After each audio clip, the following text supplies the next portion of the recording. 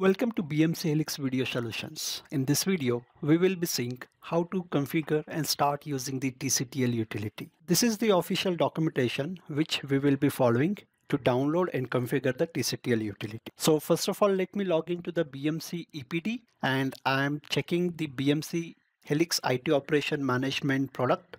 And in that, we can see the TCTL utility with the name for Linux and for Windows. So I will be downloading for Windows so when I will click on this, it will download the TCTL utility.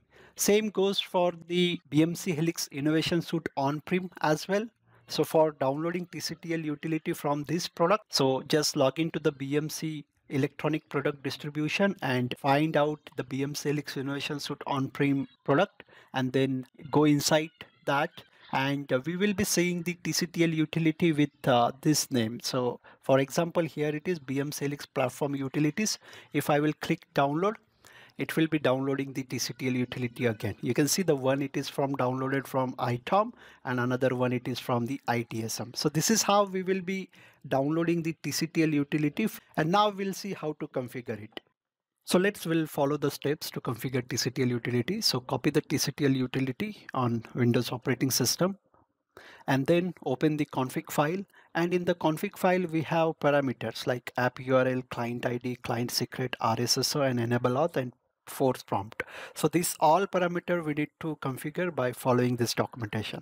So this is the location on which I have extracted the TCTL utility. Here it is and this is the config file. So let's will open that. So this is the example file will look like. To get the app URL, let's navigate to the documentation. This is the app URL. So we would need to describe the TMS pod and grab the AD platform base URL. So let's will log into the controller node. Let's first of all grab the uh, TMS pod. So this is the pod name. Now let me copy that command quickly I will just put hash so it will not press enter. Okay now let's add the namespace then replace the TMS pod name. So we have got the URL so we need to copy the URL till.com and put that URL over here like this. Now let's check the client ID so for client ID I will navigate here again. Let me copy the command. Let me go back to the controller node let me replace the namespace.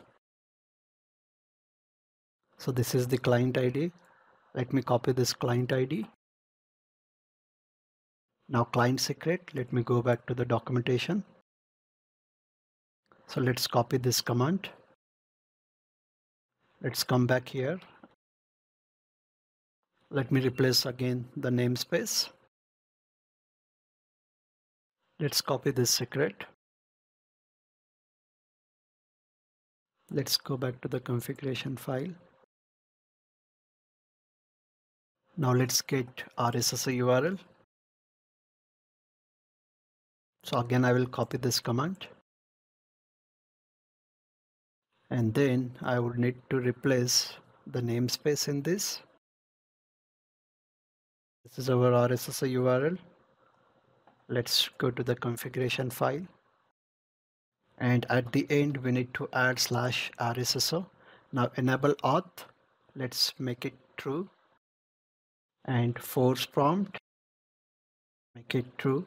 So enable auth, it will provide the authentication, force prompt true, it will provide the warning whenever user would try to change something around the tenant using TCTL. So this is how the configuration file we would need to configure. So let me save this file now now let's navigate to the location and uh, open the CMD prompt. So in address bar type CMD. It will open CMD prompt with the location then execute TCTL login. So TCTL will show this login page. Let me go back to the documentation. So we have executed this TCTL login command and we need to use the default username and password. So I will be using admin and this is the default password. Let me go back to the browser let me put username let's click on the login and uh, login successful so if we'll go back to this we can see that login succeeded now if I will do TCTL get tenant I should be seeing the tenant details So this is how we will be configuring the TCTL utility. This conclude my video. Thank you for watching. Please refer to the official documentation for additional information.